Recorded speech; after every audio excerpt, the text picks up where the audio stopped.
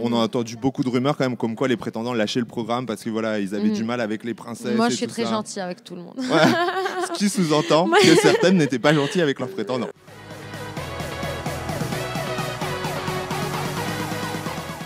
Hello les langues de VIP. Alors avec moi, la petite nouvelle du casting, Cynthia. Donc Cynthia, star de la télé au Liban. Mhm.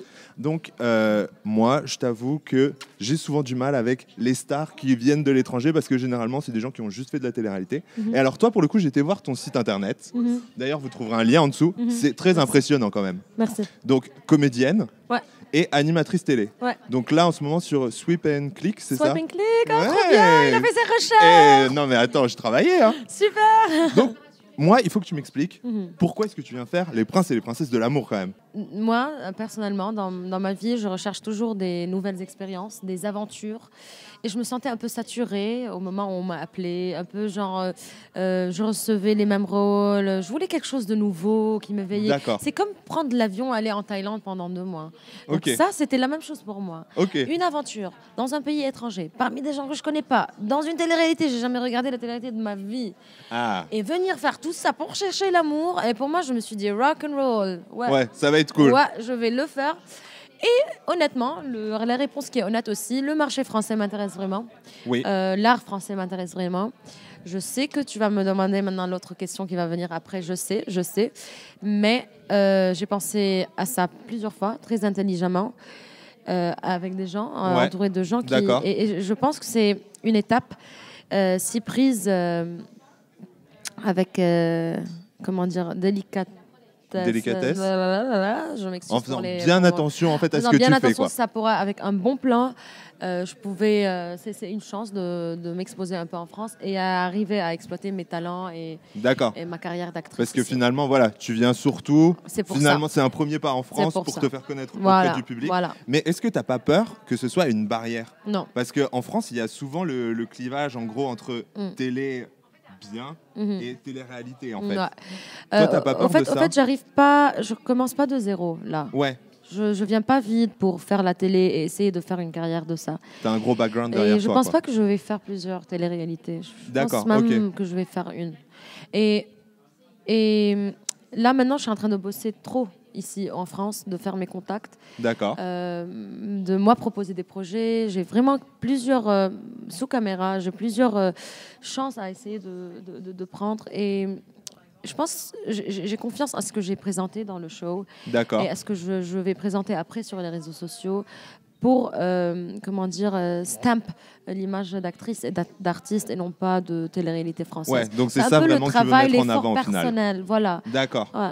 Donc toi, tu voudrais surtout qu'on te connaisse au final pour tout ce que tu as fait avant et que là, voilà, c'est juste en fait une De- de- de- fenêtre, de, la visibilité. Oui, de la visibilité. Et quoi. pourquoi pas me rencontrer euh, dans mon état normal avant Ouais. de prendre des rôles? D'accord. c'est pas un problème, ça. Je pense pas que c'est un problème quand tu es euh, une personnalité connue. Tu viens te faire voir comme ça, euh, comment dire, authentiquement, euh, en vrai, en réalité. C'est pas un problème. Il est où le problème? Je Mais pense après, des fois, nous maintenant en France, il y a beaucoup d'émissions de télé-réalité. On a souvent l'impression que les candidats, ils font un peu, tu sais, de la comédie et tout ça. eux, c'est c'est eux, c'est peut-être qu'ils sont. Pas peut-être, je t'assure qu'ils sont comme ça en vraie vie. D'accord. j'ai vécu là-bas. Ceux qui montrent la comédie que nous, on prend comme comédie, ils sont comme ça dans la vie. Je respecte ça quand c'est authentique. Ils sont comme ça. Je- D'accord. Et, et quand tu es autre chose et tu viens te montrer comme ça devant la caméra, tu peux aussi montrer autre chose. Euh, Mais c'est pas maintenant- compliqué alors, au final, le décalage. je pense- c'est- C'était un peu compliqué, Ouais. il faut dire. Euh, mais je pense aussi que la comédie, c'est attirant pour la télé. C'est pour ça qu'on emmène des gens qui sont Ouais. authentiquement Mais par contre, toi qui es comédienne, il y en a beaucoup qui, quand ils ont fait de la télé-réalité, se disent Ah, mais moi j'ai fait de la télé-réalité donc je suis comédienne. Ah non, Alors ça que non, à on est d'accord, ça n'a rien à voir. Non, non, non, ça n'a rien à voir. Et donc là, quand tu te lances dans l'aventure, est-ce que tu as une appréhension par rapport aux gens que tu vas rencontrer? Est-ce que tu t'étais un peu renseigné? Est-ce que tu savais avec qui tu allais faire l'aventure? Au fait, je te jure que pas du tout. J'ai même pas regardé un épisode avant de venir. Je me suis dit, ok, j'ai deux, j'ai deux choix. Soit je regarde et je m'obsède, je commence à obséder comment être, nanana, comment je vais faire ça? Je sais que j'allais trouver plusieurs choses qui me qui sont pas euh, qui- qui me correspondaient pas Ouais. si je regardais. Et ça, ça va juste me ralentir, ça va juste me donner moins de euh, de confiance. Ouais, c'est Donc ça. je me suis dit, je vais pas regarder. Je joue mon jeu en rock and roll. Je montre qui je suis. D'accord. Et c'est ce que j'ai fait. En roue libre, quoi. Ah, T'étais parti voilà, comme ça. voilà. euh, Ouais. Et je pense qu'il y a un mot qui risque de choquer le public beaucoup, c'est que tu es beaucoup mise en avant comme étant la star et tout Ouais. ça. Est-ce que par exemple, l'hélicoptère, c'est ton idée? Non. On est d'accord? Ouais. Donc, tu es quand même une fille simple à côté de ça. Parce que j'ai l'impression Ouais, que beaucoup bien dans que- le programme, on va te voir euh, comme j'ai- la star. J'ai pas peur, j'ai pas peur. Je, sais, c'est un peu. euh, on m'a introduit comme ça pour des raisons et que je ne, je ne, comment dire, je, Tu comprends les raisons, quoi. je comprends un les peu de la raisons, mise- voilà. On va pas se mentir, c'est un mais, peu de la mise en ouais, scène. mais j'ai confiance qu'après, euh, ils vont vraiment voir qui je suis, j'espère.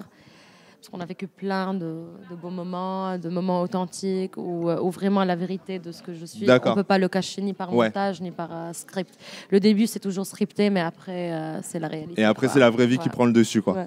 Et quand tu viens, en fait, au final, quand tu es une star du Liban, que tu viens en France pour chercher l'amour, est-ce que tu as peur aussi, parce qu'on l'a vu, tu t'as été présenté comme ça sur les réseaux sociaux en termes de star du Liban, est-ce que tu as peur que les prétendants qui viennent viennent plus pour ton statut de star que pour te rencontrer toi?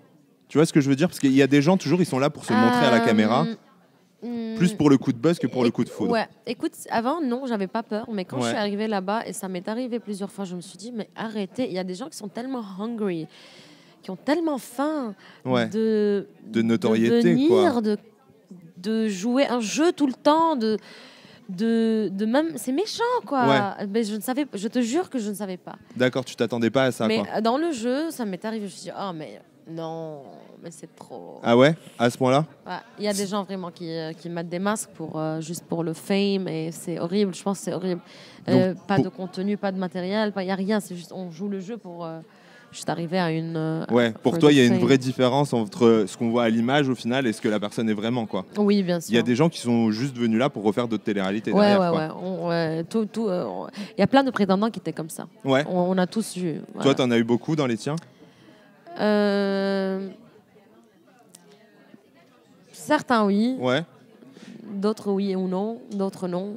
Euh, Et alors, on le voit Maintenant, aussi. tu, tu me prends au passé. Ah, j'ai trop appris. Ouais, c'était babe, dans- J'ai trop appris de cette aventure au niveau Ouais. personnel. Trop. C'est quoi que tu retiendras justement de cette aventure? Euh, au niveau amour, Ouais. euh, je veux dire que, ok, l'amour, c'est la confrontation et le compromis. Pourquoi?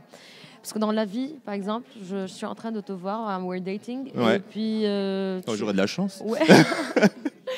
Alors tu me fâches euh, un jour, je retourne, je prends l'avion, boum, je prends la voiture, boum, je Ouais. m'enfuis, je reviens comme si de rien n'était. Mais quand tu es enfermé dans une maison, c'est pas la même chose. Ça va être compliqué de Tu partir. confrontes, Ouais. tu fais le- les compromis, tu es obligé à le faire. Et là, ça t'apprend beaucoup de choses, pas au niveau juste amoureux, mais relationnel, même avec ta mère, avec ton frère, avec ton, ton ami. T'apprends à composer, quoi. Il Ouais. faut faire le compromis si vraiment tu veux bâtir une relation. D'accord. Donc ça, j'ai appris. Deux, euh, bah oui, il y a, il y a des hungry de télé aujourd'hui, des hungry, des hungry de stardom, des hungry, hungry, hungry. Et sans bosser sur soi-même, sans avoir de la, du matériel, du... Ouais, ils veulent juste profiter des autres. euh, Sans rien, mais bosse sur toi, fais un talent, fais quelque chose, n'importe quoi. Et puis après, tu arrives, d'après ça, à une notoriété, à une Ouais. fame et tout. Mais ça, vite, tu viens trouver... euh, tu comprends un peu? Ouais, ouais. Et alors, on le voit dans la bande-annonce, Magali te reproche d'être dans un rôle. Est-ce que toi, tu avais l'impression d'être dans un rôle dans Oui. cette aventure Au Ouais. début, oui. Pourquoi alors Je Pourquoi est-ce que tu t'étais mis dans une? Tu avais une carapace, quoi, au pas, final, c'est ça? Je ne pouvais pas. Qu'est-ce qui t'empêchait? Euh, je suis venue là, je me suis dit, ok, je, c'est un projet de X semaines. Et je vais, je le prenais, c'est pas ma faute. Été habituée à signer des projets Ouais. et venir pour le projet, en, tout en en ayant le rôle, le contenu de ce projet en tête et travaillant dessus. Donc là, c'était tout nouveau pour moi. Moi, on n'a même pas de télé-réalité au Liban, by the way. C'est pas une D'accord, ok, je ouais. Donc pour moi, bah oui, ok, c'était un rôle. euh, je me voyais de l'extérieur un peu D'accord. au début. Ouais, donc tu, Après, tu tu pas. réfléchis beaucoup, quoi. Après, tu peux pas. Après, tu, ça coupe à un certain point, de, de- deuxième, troisième, quatrième jour, cinquième jour. Ouais. Et là, tu, euh, tu te rends compte que ben non, c'est la vie maintenant, c'est ton monde. Ces gens sont réels autour de toi. Vous vivez ensemble, vous mangez, vous dormez.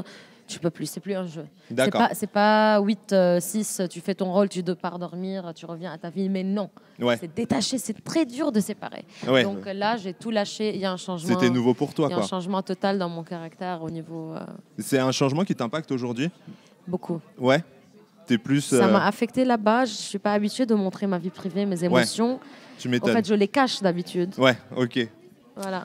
Et alors, moi, naturellement, j'ai fait mes recherches aussi. J'ai vu que le premier jour de l'aventure, tu avais mis un message sur ton Facebook pour prévenir ta communauté en fait que tu allais partir euh, en tournage. Tu disais pas lequel, mais tu annonçais déjà que tu partais pour trois semaines.